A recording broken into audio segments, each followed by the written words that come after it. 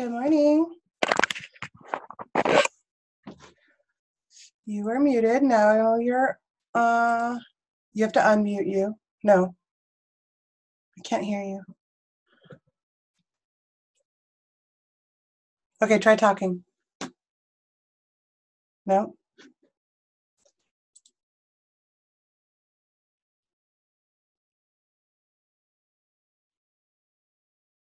Try going out and coming back in.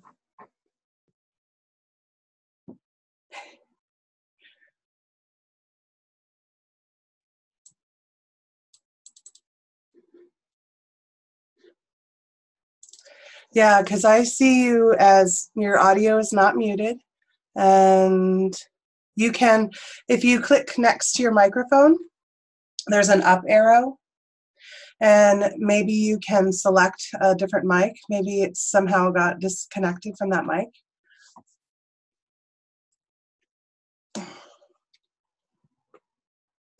And if all else fails, I would suggest going out and coming back in.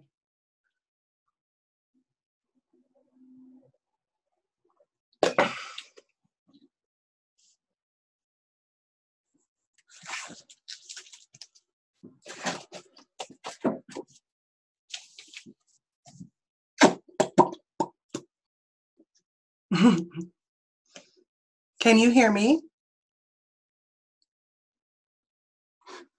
Oh, you're frozen. Maybe you are going out.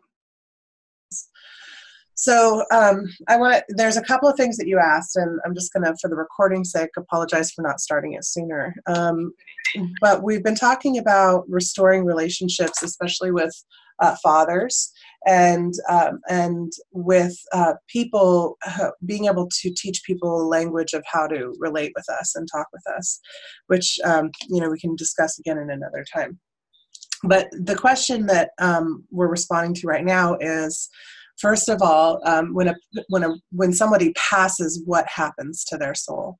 So i think you know what the story that you have told which is and, and i'm just going to kind of summarize what i heard that you you the story you shared from from your te- the teachings you've received thus far is that after somebody passes they have a period of time where they reconcile their human life mm-hmm. um, and then they go back into the collective consciousness um, and may at some time as as an individuated consciousness come out again um, in experience in a reincarnation another life. Mm-hmm whether that is accessible at that point. Yeah. Specifically that energy. So, yeah. yeah. So one of the things about um, that I want to get into at this point is, and it's a perfect time for where everyone is at between part one and part two, um, is that time is is a concept. Time is like a run program uh, it's if you can think of your life um, as a series of slides on uh, index cards. And your your all the possibilities of your life are like a great big you know um, cabinet that has those drawers like in a library you know? And you can pull out this drawer and this is laura evancy and this life stream and then maybe if you go to the left and the right of it and up and down of it around that area, you're going to find all the other possibilities of Laura, right? But if you come way up here, maybe it's Laura is something else, right? But basically, this cabinet, when you separate away from source, this is your stream, your data stream. You're going to process through all those drawers.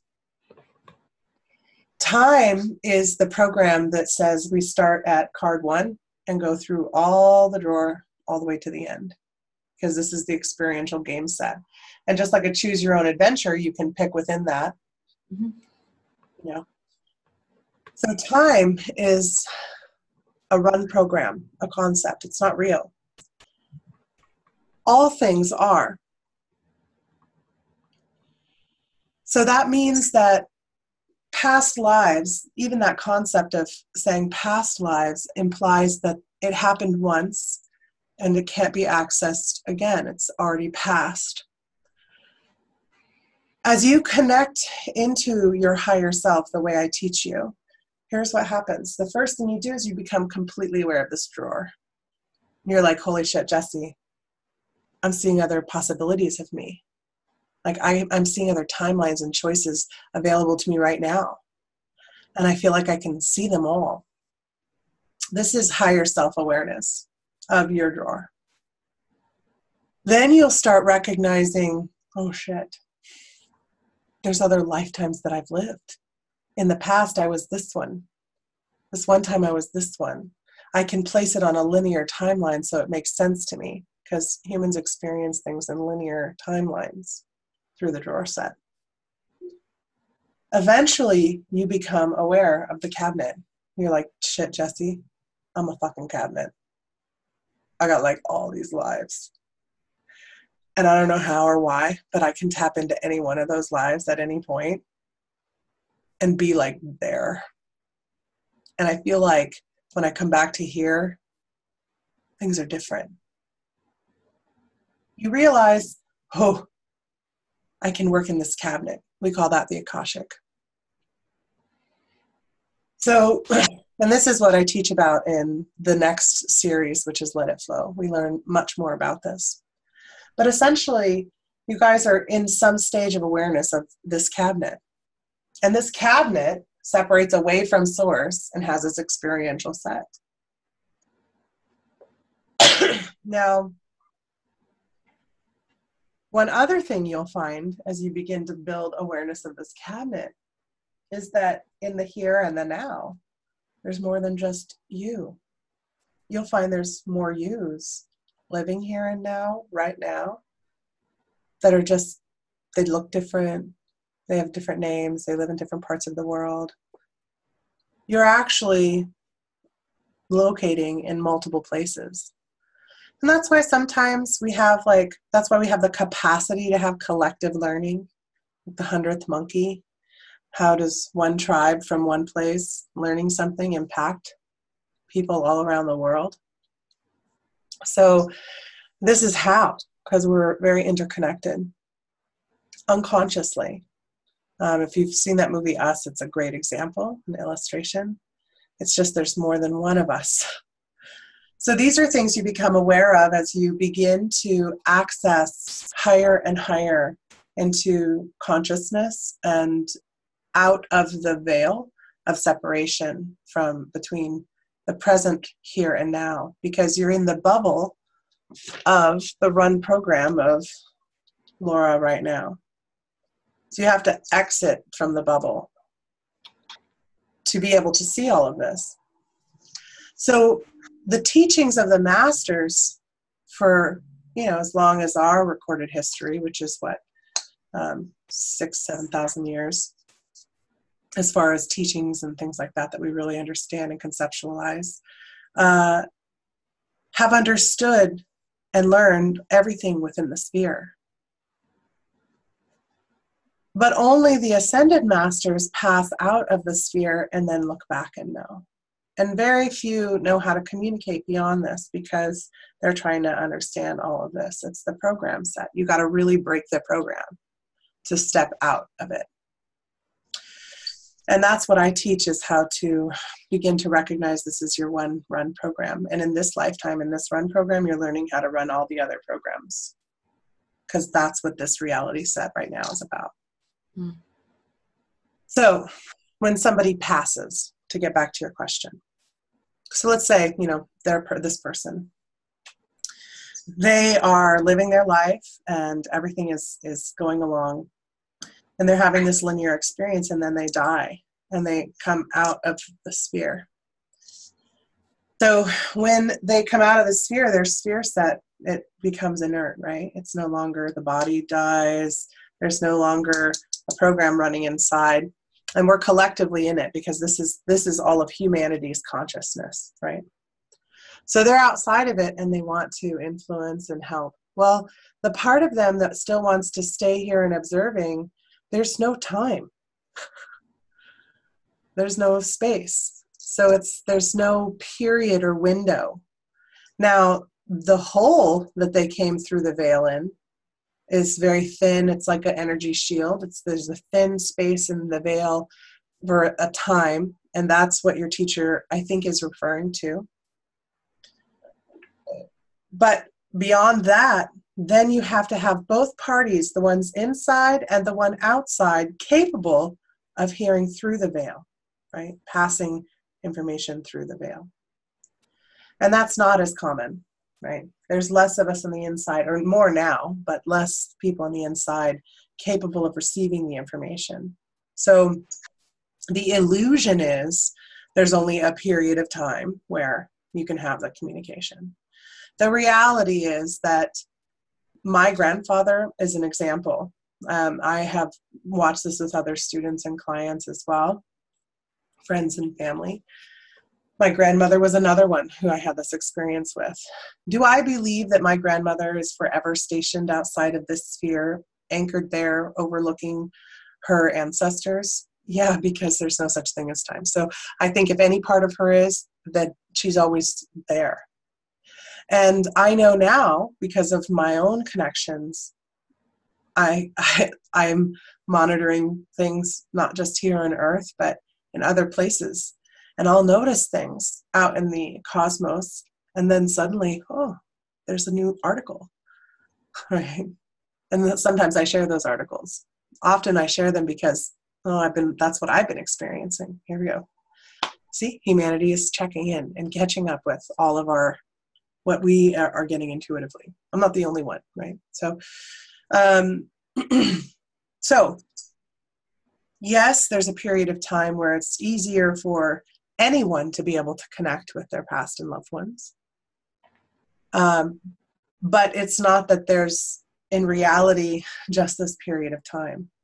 You have to instead look at it like this I, as a dead person, no longer in the system, can now look at any part of it. Oh, I, as a living person, decoupling my consciousness from my vessel enough, can go now and do this. And that's what you you guys are training to do. But before you can really do that, um, and this is kind of um, how they teach in Kabbalah, you have to start from the ground up. You have to start grounded, working with your root chakra, and just like a rocket ship, you've got to build the platform. Then you got to build the rockets, second chakra. Then you got to build the ship, the identity, third chakra. Then you got to put something in it that has a passion and a drive, an astronaut, a heart. Then you got to give it a capacity to communicate not just with itself, with inside, but also with the other people, throat chakra, then you got to give it a sensory mechanism so it can read and detect things in its environment, a third eye. And then you got to have a way to integrate all these systems, the crown. Anything we build has to have these things in order for it to become actualized.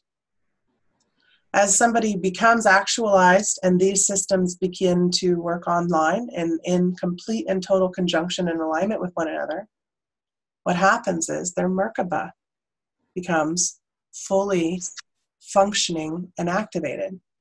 At that point, I'm going to grab a Merkaba. They are inside the Merkaba.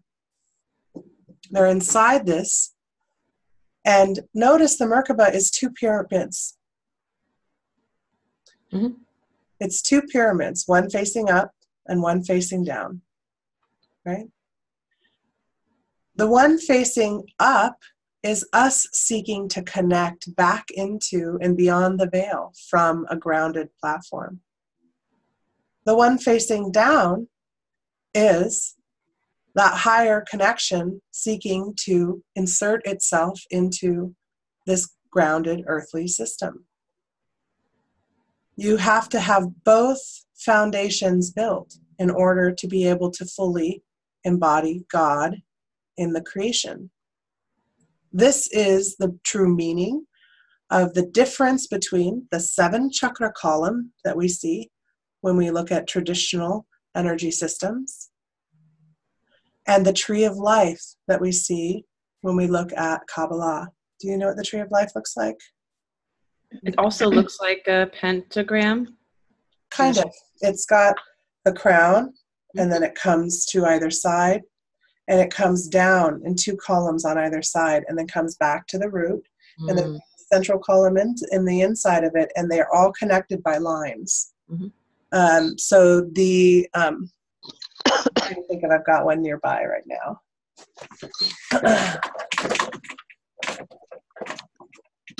no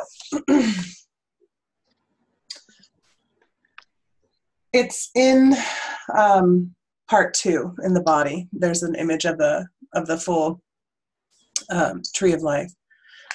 And in order to activate your tree of life, what it states is you have to start from the root and build your first your rocket ship in order to launch. This is your vehicle, your light body vehicle, your Merkaba. And once you build this light body, it takes you up to. And what I teach you guys when I have you guys ride that Gaia connection up into source, that's what you're doing. You're building your upward facing triangle. Hmm. If you start in the other direction, that's what we see those healers that are just way the fuck out there and you have a hard time relating to them and their lives are a chaos, but they're like, but I'm so enlightened but they have no capacity to take this and do anything with it. They have been building from the top down. Do they burn out quick? Yeah. Notice that too. can't handle the energy. And this is why I start you guys the way I do. You got to spend as long as you need. Because if you're going to become a bodybuilder, if you don't spend that time in the beginning building up fine muscle attachments, strengthening muscle connections to bones, building your tendons, building up your cartilage and strengthening it with your nutrients as well as your movement and exercise in small ways. As you then get into the bigger muscular things, you get those are the guys who get muscle bound, they get locked up, they can't move really quickly, they end up with arthritis. I mean, even Arnold Schwarzenegger had to combat his muscle boundness, right? So this is um, the same concept. You've got to first build this whole upward facing triangle that is the foundation of your ability and capacity and acceptance to be here. As long as we hate being here, we are shattering our upward facing vehicle. It's like building a rocket ship, getting pissed off at night, and taking a sledgehammer to it every day. And then you got to. Yeah. Can you can you put that up close, like a little closer? I'm trying, but the camera's not. Oh yeah, no, that's okay. I just wanted to see. Oh, that's cool. Yeah. Okay. So our upward facing triangle, the, here's the other part people face when they get into this work. They build, let's say they build the upward facing triangle, they're building their chakra system, they're doing it. But they're like, I don't know what to do with it then. So they get all this connection, but they still don't know how to bring back down that connection into the create creation. So that's part two of Life Math. That's the Let It Flow series. And that's bringing and building your how do I, what do I go? Why do I want to go tune into the sun? Why do I want to go tune into Jupiter? Why do I want to tune into the galactic center? Why do I want to tune into the universal center? Why do I want to go beyond those? How on earth would it benefit me to connect outside of the entire reality set of human consciousness exploration and tune into, I don't know, Arcturian or, I don't know, maybe Pleiadian. Why would I want to enter these other reality sets? How can that help me? Well, I know how, but it's only because of experience of going there, seeing the stories, and trying to bring them back in. Practicing, which is building the second part of our Merkaba. Once we build the Merkaba, a rocket ship builder, let's say you decide you're going to be a, a rocket engineer. You don't start by going and building the rocket and launching it. I mean, some people do. Look at SpaceX, you know. but there's a lot of death and destruction. There's a steep learning curve. It's very hard. You start by learning systems, building systems, building practices, getting experience. What is my full experiential set with rocket fuel? Now I need to understand what are other possible fuel sources. And now I need to start understanding whether what are other kinds of drive mechanisms that maybe don't even need that fuel source. I could go into in total detail one point on this Merkaba and explore mm-hmm. completely motivation and drive and become focused solely on the uh, solar plex. Who am I? And there are people who do that, masters that specialize on those things. Or I can focus on the whole thing. That's kind of more like what I am. I'm more of a jack of all trades. So I get enough information about the things that make sense to me and I recognize it for me. I'm like, if I need to know more, it'll come to me. So right now, I'm teaching you guys the upward facing triangle. When this light body, this vehicle, we call this a vehicle, is complete, your consciousness can go out of out of this reality set, can go out of the full sphere set. You can travel anywhere. And this is how aliens travel to us, most of the ones that are not still physically dependent. So that would be anything sixth density, seventh density, Arcturians, Ple- uh, Pleiadians still have ships, but um, they still also use their Merkaba as a consciousness vehicle. But their physical body, when they want their physical body to travel, that's sixth density. Seventh densities are the ones that they basically, their consciousness whoosh, comes in, they coalesce around them, the atoms, to make a body, and they become a vehicle here. That's like what Thoth, yeah.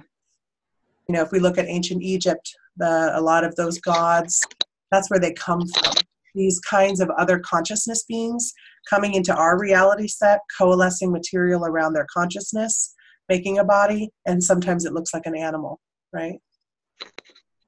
So um, these are, so you were asking, I know your, your question was simple, right? How long do I have to talk to my dad after he's died, really? How do I restore my relationship, really? Well there's no such thing as time in my opinion in my experience. So um, the only question is can i communicate beyond this veil can i hear beyond it? Can i choose to go back in time to a reality set where he was still alive? I've done some of that too. There's all different kinds of ways we can show up in this.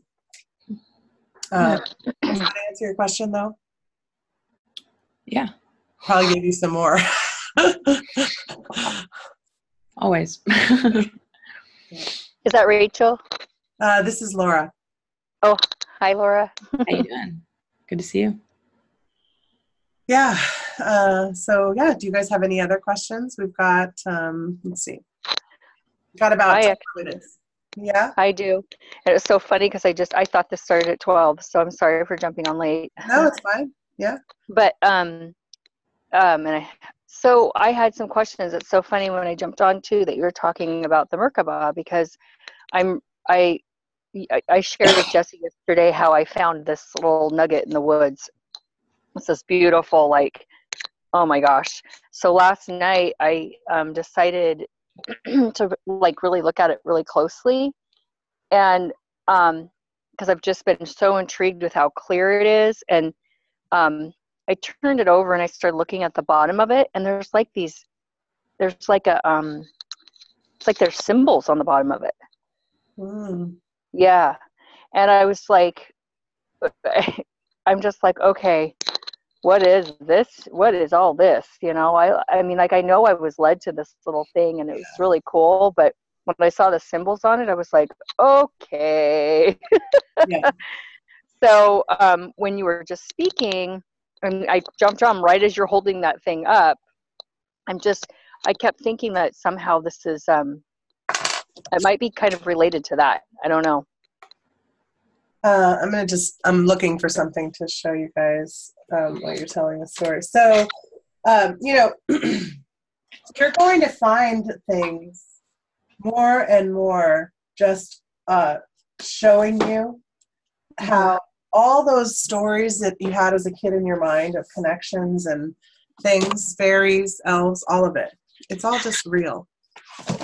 Um, and you're going to start getting these um, introductions like this into that world, uh, just like that. Mm-hmm. So it's the first time this has ever happened to me. So I'm like, whoa. right. Um, you know, one of my good friends. Ah, I think this is it. yes. So I don't know if you'll be able to see this, but these are all ancient magical symbols. That oh. For a long time. Um, and if you'd like, I can photocopy this and send yes. it. Okay. Yes. I'll just post it. How about I'll post it in the group, the HPC okay. group. Um, and, you know, my um, Jeffrey um, St. Rose, who makes the Starseed Oracle deck that um, I have here if anybody wants to purchase it. Uh, it's um, he's a wizard, and he was a Mormon. You know, he was a devout Mormon, and he just always felt different and was raised in a very isolated community in Utah. And you know, he started awakening and hearing wizards talking to him, and now he's a translator, basically a channeler for this wizard order that is based all the wizards of humanity um, that are the ascended masters in that tone and frequency rather than spirituality or consciousness work. Um, they when they pass they enter into the, this order that the passing from this vessel is their their ascension into the order. And they uh, so he brings in all kinds of information. And he was intuitively guided to build a portal or in his home. Uh, so he built in his living room he has a big area rug in the center of his living room and the boundary of that rug is a copper portal made of um, each intersection point has different crystal nodes um, and it's pretty big. It's about this wide um, and uh, there's all kinds of things since a grid of i'm talking like quartz spheres like this big uh, chunks of lab uh, i mean it's it's un, it's unreal. You uh, i walked in there i'm all i'm gonna go sit on the couch i'm gonna pass out now and I was out for about an hour and a half. Uh, and he, at one point, he was like, "I'm getting that I need to do some activation codes for you," and my eye is switching right now. I'm like, "Okay," and I don't know what happened after that, but like I was gone. Um, so this is a very, very powerful, powerful place that he's built in his home, um, and he's had things drop from the sky. So there's like a string of orange beads hanging from his chandelier, kind of off to the side. And I was like, so what's that for? Because everything's intentional in this dude's home, right? I'm like, so what's that for? He goes, nah, I just can't reach it and I don't want to get the ladder. And I'm like, but why did you put it there in the first place? He goes, I didn't. It just dropped down during one of our ceremonies. Wow. So these things, they come uh, for us. What you found was for you. Mm-hmm. Mm-hmm. Uh, and i'm getting a strong sense that it's it's going to help awaken in you uh, the connection to the other life streams where this you were probably writing it so, wow yeah uh, i just was like what is this for like i mean i just knew powerful. and i'm just not going to let it bug me i guess i'll just it'll all come and that's what I was, at, I just, I texted you thinking this was a trouble. Go, Jesse, can you talk for a second? And I'm like, oh shit, got to jump on. Yep. Yeah. So um, we will get these things delivered to us. Um, for myself, I had fairies um, in my home that I got guided to. I was going to, um, I like to harvest my own foods. So uh, I go out and harvest my blueberries or you know different things like that during the summer. And uh, a few years ago, I thought it'd be really cool to run meditations and then go harvest our food together. Uh, so I was trying to do that, and um, nobody else, I guess, wanted. You know, most people don't still har- do that. They don't. They're like, I've got a grocery store. Um, so hmm. uh, I was going with a friend, and nobody was else was coming. We decided we'd go anyway and my GPS took us out into the mountains basically. And she's like, Jesse, I don't think there's any blueberry patches out here. And now we're on this little logging road that this coyote was laughing at us as we drove down. Mm-hmm. And um, and I'm like, yeah, but something's here. I mean, there's, there's a reason that we've been guided out here. and uh, I also know to not bring anything back in, from the forest unless I feel it's very strongly meant for me to be brought back, to be, you know, to bring it back, because you know, yeah. forests have lot lots of stuff going on in them. Uh, yeah. And so I didn't bring anything back, but uh, after that, I started having just constant stuff happening at home, like um, meat would go missing from my freezer, or like I'd pull out a steak and a frozen frozen solid steak and like a bite is missing from it. Wow. Or ice cream. You know, I don't buy Rocky Road ice cream. I've I have never in my life purchased Rocky Road ice cream. I like it, but um and uh, a half-eaten tub of Rocky Road ice cream appears in my freezer. After I'm bitching about, could you quit eating everything out of here? Like, if you're gonna eat some, bring something back. Come on. So they well, brought me ice cream.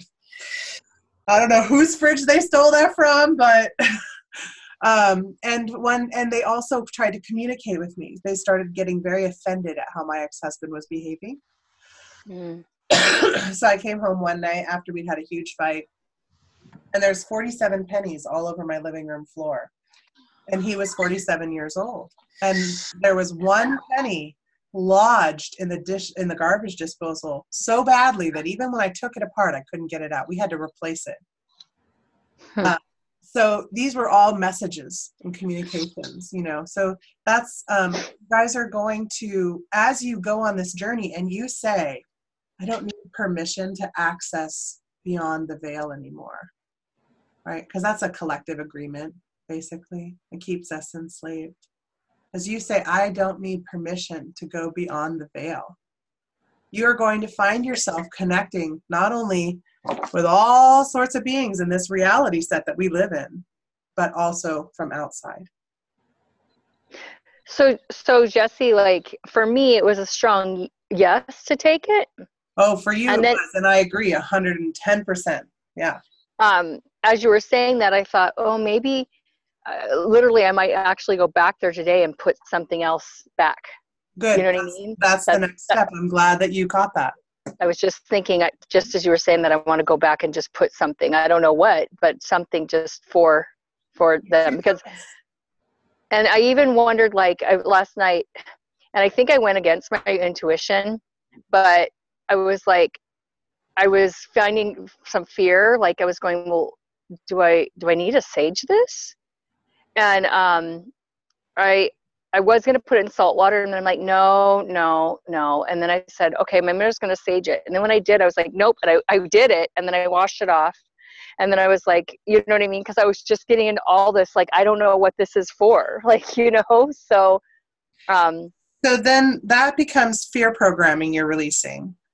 Um, okay, so this is about then that becomes about like protection and energy and how safe am I? Yeah. Uh, and that would be one end of the polarity. And the other end of the polarity of that same spectrum would be uh, I call everything to me to teach me and learn. Mm. So it's just a choice of where you want to show up on that spectrum. Uh, do I think you needed to sage that thing? I hear no. When no. I why? I hear because the energies that are attached to it are the whole reason you were drawn to it in the first Exactly. Place. And I freaking knew it too. It so was just yeah. the conflict within you was what I know to be true versus what I'm sensing right now. Will mm-hmm. I give myself permission? And that's what I'm really like I've noticed as I've started this and um, just that that discernment and every time i follow it's just like that exercise you did with heidi and i last night yeah. It was like just that, just super quick. Like, yep, nope, yep, yep. Nope. nope. And I, yeah. So, yeah. um, yeah. So I'm. That's the whole goal of life mastery. Is yeah. and, and, believe it or not, it's going to take you a while to get mm-hmm. to the point where you're you're as soon as you ask a question, you choose to use the yes no, and then yeah take a little longer of that and then it becomes integrated right yeah As how are you talking, feeling with that laura oh um with the yes no i was feeling that a lot stronger before jesse and i did energy work like I was feeling more tension and stuff in my third eye and my heart for yeses, and now it's dissolved a little. To be honest, I'm not sure why. Um, mm-hmm. I don't know if Jesse can say anything about that. Um, I feel like it's it could be that I've just been pretty overwhelmed lately by a lot of other things in my life. So really getting yeah. to a quiet space and spending um, more intentional time um, with myself to find those answers would probably yield better results. well, yeah. and also also like for for me like with the yes and no because yesterday when we were trying to you know she tried to it was re- for the energy lab last night laura and what's that? uh, julie came to the energy lab last night right? And everything that could go wrong went wrong for her. Like she couldn't meditate her kid kept coming out she couldn't get comfortable then she mm. got locked out of her house and she was like it's like how bad do you want to be here julie? Right it was really interesting yeah.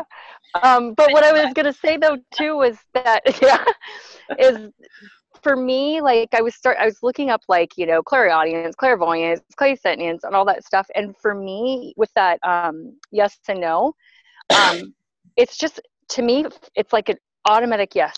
It's an automatic no. It's not even something that i feel like i'm feeling. In fact when i try to feel it it actually makes it harder. Hmm.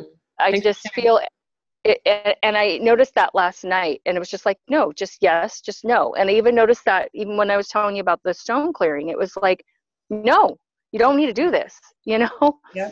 So that's why so it was um, that the tone was more humorous or was the tone more um, excitable somehow like larger letters that you're seeing?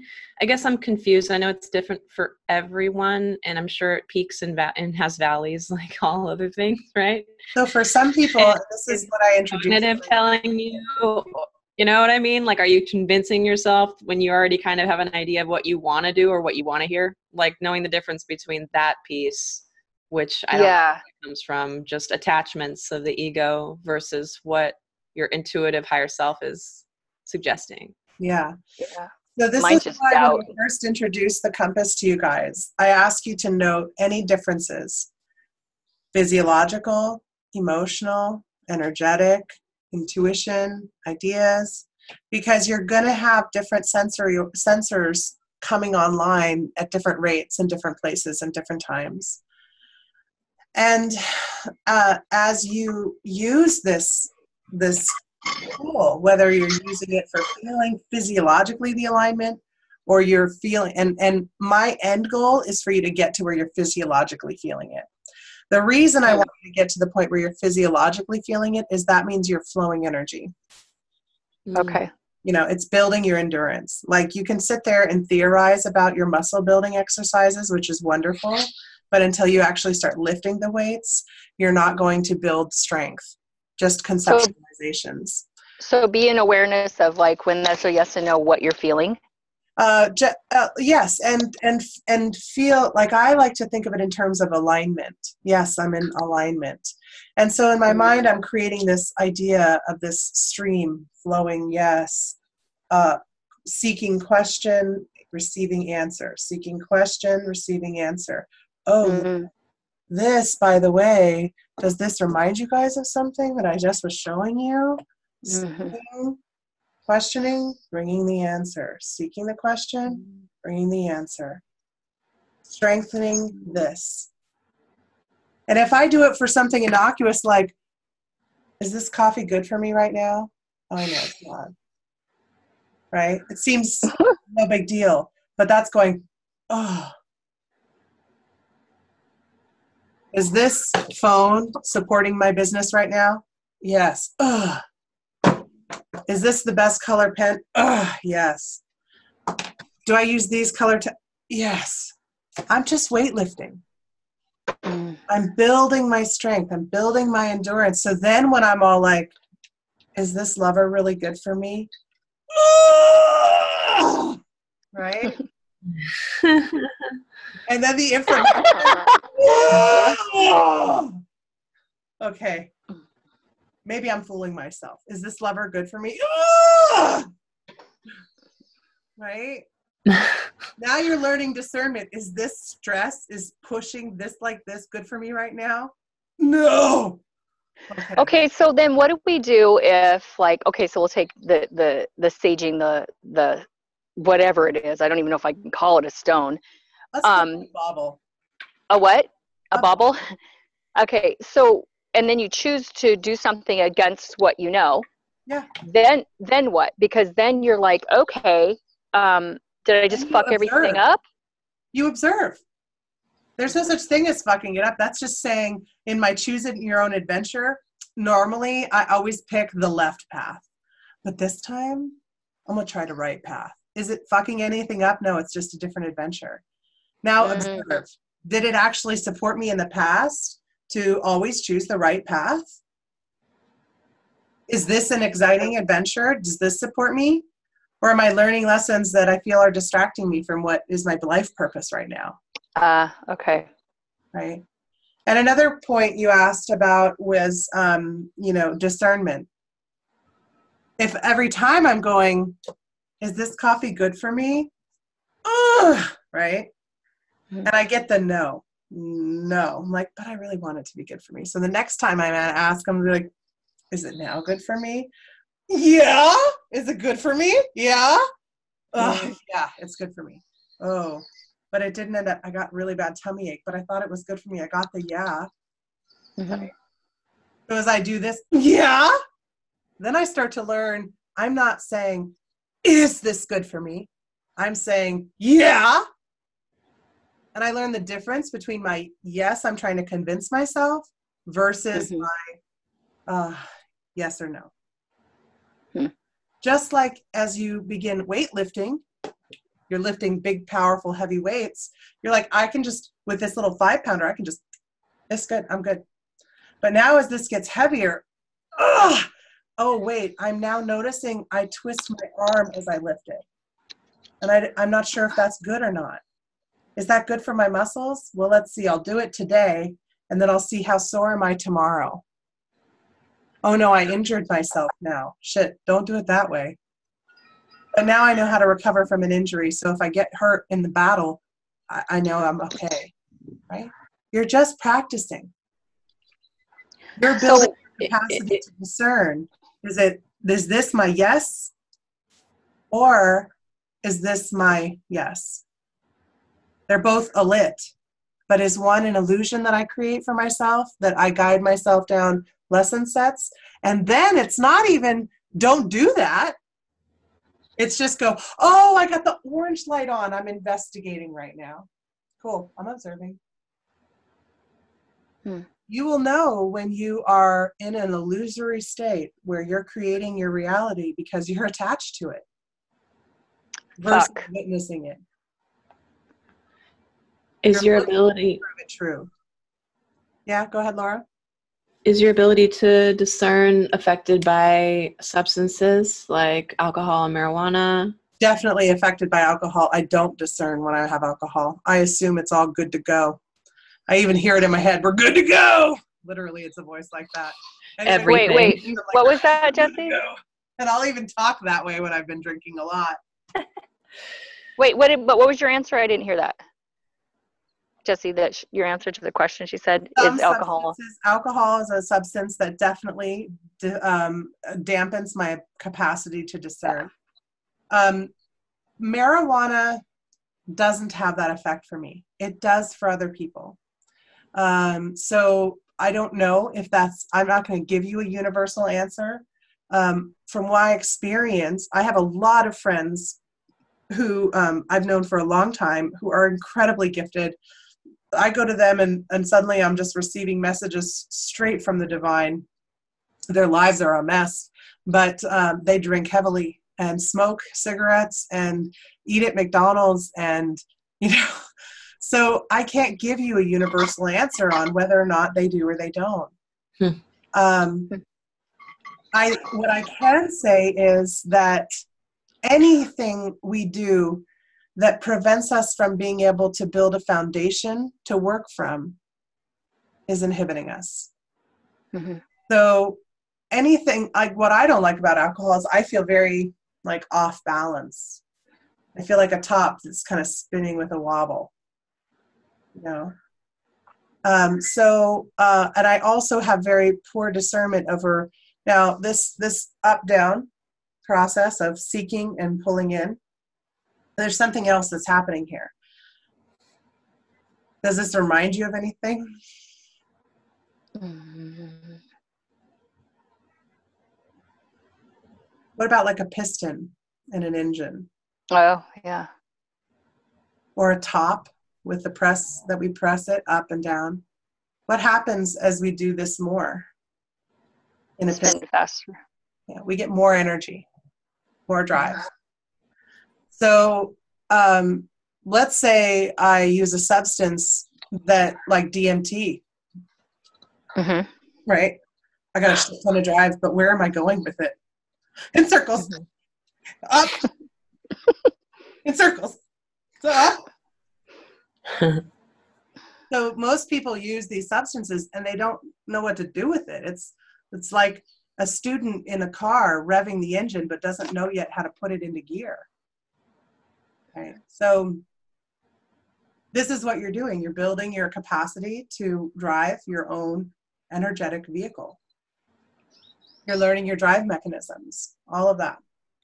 So that's why I want you to do things like go for a walk and decide, use your compass to go left or right. Use your compass to pick which book to buy. Use your compass to choose the foods. Then use all the other things that you've been using. Mm-hmm.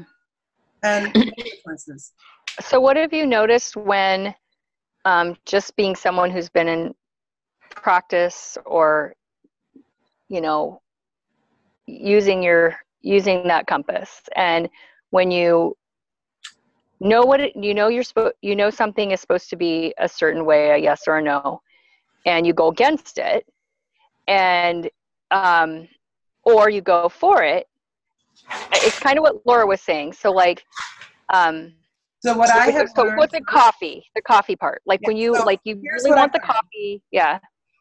If, if um, first of all, if I believe something to be true, the moment I start thinking this is an absolute truth, mm-hmm. that's when the universe shows me all the ways it's actually not. but see, so, and that's the thing. I always choose the wrong. Based, okay.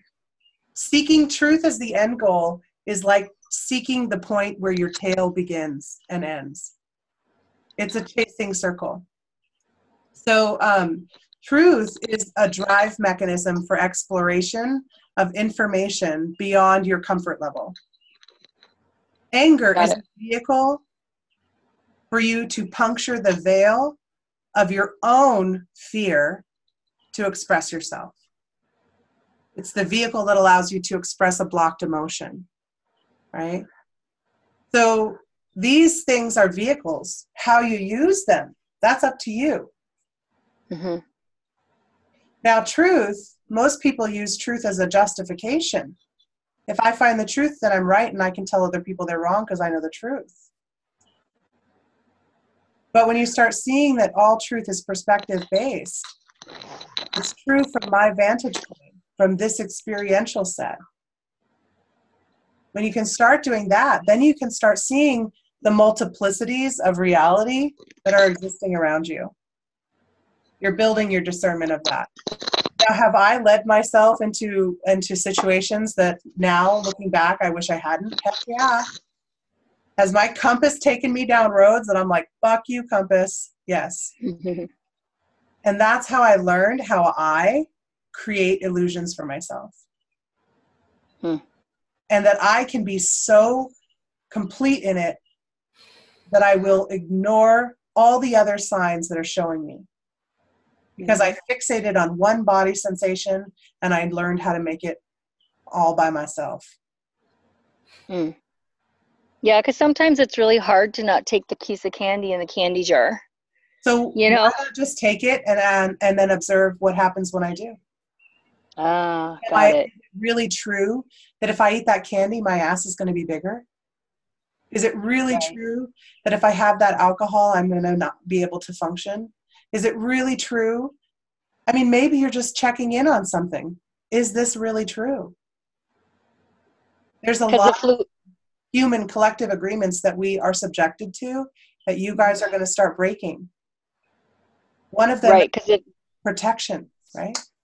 Because, mm-hmm. like, I feel like you can choose things, and it just creates just a there can be a fluidity in that choice. Like something might be right one time, and then it won't be right, and you just kind of follow it, and it doesn't always make sense. Exactly. Like staying up at four o'clock in the morning might be great sometimes when you have to get up at four o'clock the next, or you know, six o'clock the next day. Exactly. But the, the judgment around it that just make I don't know. Anyway. And yeah. oftentimes you're giving yourselves opportunities to practice so you can release the judgments. Because at some yeah. point it may be critical that you're up at 4 a.m. And you won't sit there going, no, no, I should be asleep right now. You'll mm-hmm. trust that and you'll get up and maybe your guidance is going to be telling you, you got to go outside right now. But if you don't trust mm-hmm. yourself and you haven't built that relationship with yourself, because that's what you're doing now, you're building a mm-hmm. communication with yourself. You're not asking Sam, Sam, is it okay for me to go out at 4 a.m.? Is that a good idea? Sam doesn't fucking know. Sam's not needed somewhere at 4 a.m. You are. And so if you have judgments in place that say, there's no fucking way I'm getting out of my bed at 4 a.m. and going outside. Oh, you just declared a truth. Now the universe asks, is it really true? Well, what's it going to take? And it might be something horrible because that's how resistant we are. Mm. And then once we get to the point where, fuck, it's not that bad being out at 4 a.m., it's nice actually. It's kind of quiet. Those birds are really loud, and the sun's just coming up, and there's nobody here I have to deal with. And wow, wait, all the consciousnesses around me are asleep, but I'm not. I'm receiving information at a different level. Oh, I might even look out my window and see an alien ship that will come down because most people around me are sleeping. Yeah. Fucker, just look up. Exactly. you never look up. exactly. So when we make truths and declarative statements about ourselves, the universe then is being given a challenge. We're literally thumbing our nose at ourselves. You know. And usually the declarative statement is in direct opposition to what we need to do next the most. I would never talk about someone behind their back. And then I actually have to have that conversation because my friend from childhood son is sitting in my in my home homeless strung out trying to figure himself out and he's like why am i like this i know i had a good life and i'm just a selfish brat okay honey let me give you the reality of what i've observed that you went through and, and i doubt you'll be able to question again why you're where you at does that mean i don't love my friend no Am I bad mouthing her behind her back? She might think so. But am I giving truth to this boy who's lost and confused? Yes. And is that what I'm called to do in this moment? Yes.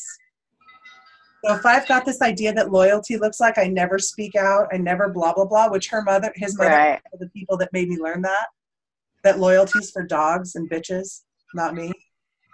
Right? So am I going to then be again confronted with that challenge as I'm learning how, as now I work with couples and families and individuals that are all interconnected with each other? Well, how do I navigate that? Maintaining privacy, maintaining my own respect of, you know, their sovereignty. I'm not really a licensed therapist, so I don't, you know what I mean? What are my boundaries around that going to be? Ah, I'm going to have experiences that I have to ask myself that question in relationship to my that will come to me in my personal life. It's not clients I'm having that hard time understanding that with. It's in my personal life, my best friend from childhood son. Right? Mm. So by navigating those waters and then having to talk to her and be like, well, yeah, Brenda, I get that you don't understand why your son would be doing meth. And I hear you wanting to believe that you didn't do meth in front of him. I attended parties with prostitutes and meth addicts and drug dealers where your kids were playing all around you guys. That's why I didn't bring my son. That's why I stopped coming to your parties. And that's just what I saw, and I only attended two. So I love you, but we all fuck up in our children's eyes. So we can accept that and just move on. Yeah. You know, because I know where she was at and I know why she was there. And I know that's not where she is now. So I don't have to judge her and say, oh, Brenda, you're such a horrible mother because you did that. But I can, with her son, say, it was horrible that you had to experience that. So as I learned to navigate those waters of judgment, compassion, support, being the mirror, being the jack, the jackhammer, being the whatever I have to be for these people, I have to release the beliefs that I hold that are rigid values that say I will or I will not do these things. According to Bashar, there's only three universal laws. Everything that is, is. Everything that is, is subject to change. And all that is, is temporary. That's it. So we apply stories to those laws. And my goal with you guys is not to take away all your stories, but to get you conscious authors. Why do I always make the fairy tale about a damsel in distress? Why do I always make the villain a blah, blah, blah? Why do I always play the part of the blah, blah, blah? So that then you can go, okay, well, now I'm not going to make the blah, blah, blah my main character, but I sure know how to write that one well. No. And eventually you'll get to where you're doing it on the fly. And then you're in flow state all the time. And it's just what do you observe as what pulls you out of that flow state, right? Because mm-hmm. you're already you. It's got right on your side your your team. You got this little earbud, and they're there. They're telling you, but your compass is like a great big tuning dial. Can I hear it? Yeah, I might tune into other frequencies too that way. But can I get to where I'm hearing this one? Yeah. Mm-hmm because ultimately i want you guys to a point where you're just tuning into frequency where when i hold this crystal up you can tune into the consciousness of this frequency. There's no illusion in your mind that says it's just a rock. There's no idea well it's all the way at jesse's. I can't really tune into it. And there's no uh, fear of how do i process and integrate. There's no uh, lacking platform to integrate crystalline consciousness. Because as you connect into source and gaia you're connecting to crystalline frequencies. What does crystalline mean? Ah, everything aligns to a single direction. There's a regularity to the formation. That's all crystalline means. I'm orienting to yes. I'm orienting to yes. I'm orienting to yes. I'm just aligning. That's all. Yes is where I choose to focus it because it's an easy focus point. If I learn to focus it between a yes and a no, these two focus points, now I can align to this. Now I can do that. Look, now I can go here. Now I'm here. Oh, look, now it's a dance. Now it's fun. But at first, I'm all like, fuck, what do I do? Just like learning a picking pattern. Black yeah. bitch, by the way. so when when we're in a, a place where we've we've we're observing and we actually can recognize that we're in observation of something um then what is the what is that because uh, i mean i've been observing things in a way and i just go oh okay mm-hmm. um and then i'll just kind of ask so now what do i do with it like um Nothing. you're in a doer state you got to slip mm. into the beer state because the beer mm. has the next thing come you got to hold what you're at what you're holding until the next thing comes. Okay. Yeah that's the thing that heidi and i were talking about last night because we're just like oh now we got to do something. Now we got to we're just know, we're so um, there's a great guy ron hubbard i think is uh, ron, uh, ron he's he's connected to me on facebook. Um, he has a whole lecture on the doer versus the beer and uh-huh. he's like, you know, basically, there's the self. And you come in, you're on, you're active, and you separate a part out from yourself. I guess not that one. that becomes this doer. This doer is going to go do something. And it's now separated from self. And it has this desire to get back into self because it views itself as separate. So mm. by doing, it can get back in because doing is how it got out, but being is how it gets back in. Got it. Especially if you have any identities around i need to do something in order to be worthy of. Yeah. Um, who am i of worth to be connected to god? Who am i to be hearing the angels? Who am i to blah blah blah. Wow all right so we're almost we're coming up on um, 11.30 i have a session at 12 so i'm going to let you guys go um, hey, but this yeah. so if there's anything else what were you say laura yeah scheduling stuff as far as what I have on my big ass calendar right here. Um, I got from your emails that every second and fourth Sunday is your energy exchange potluck. Saturday. Oh, it's Saturday. Saturday. Yeah, I changed them to Saturdays because too many of the people who work want to be able to see later and they can't. They too many of us that have to be at our freaking eight to five. at this point. Many of you guys who are serving. Okay, so it's, so it's every second and fourth Saturday for certain for yeah. that. Yeah. And then the okay. is the third Saturday of every month. The movie night. Mm-hmm. Yeah. Okay. And they all start at five, right? Yep, all start at five. Okay. Second and fourth and then third so basically second third and fourth there's things that are available and when i'm ready to i'll incorporate the first saturday as something but i'm doing a fair in hillsboro every weekend the first weekend of every month so it would have to be something out right like um, going out to dinner maybe going to see music nobody's expressed Fun. interest in the music so i'm probably not going to do that this this uh, next month but um, i'm also working on you know everything getting everything else going so it'll i it'll love that that you do that that social part because it's so nice to just I don't know, be with like-minded people. It was so nice coming to your house for that movie night. Good. Yeah, I feel yeah. like that's the most important part, really, um, is tribe, and that's mm-hmm. what I felt like was lacking in my training program when I was in training. So um, mm-hmm. it, I, it's important to me, and I'm glad that they're starting to pick up and that people are utilizing them because I feel like, you know, that's all I can really do is provide things. And then if people show up, then wonderful, you know. Yeah. Like even this, I'm like, I just show up for this and I my I have a stack of work I can do next to me if no one shows, but it's devoted at the time that I'm here working, you know. Um, Super grateful. Thank you. You're welcome. You're mm-hmm. welcome. Bye, Laura. See you, Julie. Take care. Bye. Have a good day. Bye, guys. Mm. See ya. Thank you, Jessica. Bye. You're welcome. Bye, guys. Mm.